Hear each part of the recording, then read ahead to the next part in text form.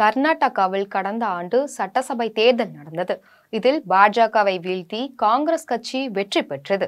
இதையடுத்து காங்கிரஸ் சார்பில் முன்னாள் முதல்வர் சித்தராமையா மற்றும் கர்நாடக காங்கிரஸ் தலைவர் டி கே சிவகுமார் ஆகியோர் இடையே முதல்வர் பதவியை பிடிப்பதில் கடும் போட்டி நிலவியது. இறுதியாக முதல்வர் பதவி என்பது சித்தராமையாவுக்கு வழங்கப்பட்டது. டி கே சிவகுமார் துணை முதல்வராக உள்ளார். மேலும் முதல் இரண்டரை ஆண்டுகள் சித்தராமையாவும் அடுத்த இரண்டரை ஆண்டுகள் டி கே சிவகுமாரும் முதல்வராக பொறுப்பு வகிப்பார்கள் என்று கூறப்பட்டு வருகிறது. ஆனால் இது பற்றி காங்கிரஸ் மேலிடம் இதுவரை எந்த தகவலும் வெளிப்படையாக கூறவில்லை. இந்த சூழலில்தான் கெம் பேகவுடா ஜெயந்தி விழாவில் முதல்வர் சித்தராமையா பங்கேற்றார்.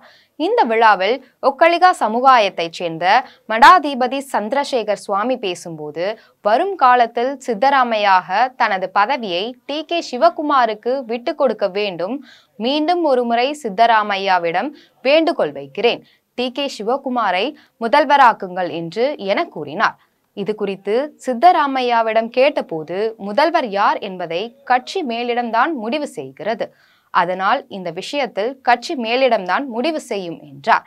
இதையடுத்து தற்போது கர்நாடகா காங்கிரஸில் மீண்டும் முதல்வர் பதவி தொடர்பான விவாதம் சூடு பிடிக்க தொடங்கியுள்ளது. இது தொடர்பாக டி. கே. சிவகுமார் மற்றும் சித்தராமையா தரப்பினர் இடையே கருத்து மோதல் ஏற்பட்டது. இதனால் கர்நாடகாவில் காங்கிரசார் இரண்டு கோஷங்களாக மோதி வருகின்றனர். இது பெரும் சர்ச்சையான நிலையில் முதல்வர் பதவி பற்றி யாரும் வாய் திறக்கக்கூடாது என்று டி கே சிவகுமார் தனது ஆதரவாளர்களுக்கு உத்தரவிட்டுள்ளார்.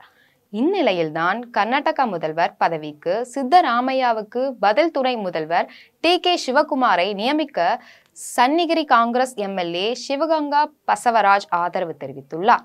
இது தொடர்பாக சன்னிகிரி காங்கிரஸ் எம்எல்ஏ சிவகங்கா பசவராஜ் கூறுகையில் டி கே சிவகுமாரால் கட்சிக்கு உழைக்கவும் தியாகம் செய்யவும் முடிகிறது என்றும் இதனால் தான் காங்கிரஸ் தலைவராக நியமிக்கப்பட்டார் என்றார். அவரது பணி அனைவரையும் ஈர்த்துள்ளது என்றும் இத்தகைய சூழலில் தேவையின்றி துணை முதல்வர் பதவியை உருவாக்க நினைக்கிறார்கள். என்னை பொறுத்தவரை எத்தனை துணை முதல்வர்கள் வேண்டுமானாலும் நியமித்துக் கொள்ளுங்கள். ஆனால் டி. கே. சிவகுமார் முதல்வராக வேண்டும் என தெரிவித்துள்ளார். இதனால் மீண்டும் கர்நாடகாவில் முதல்வர் பதவி தொடர்பான விவகாரம் பூதாகரமாகி உள்ளது.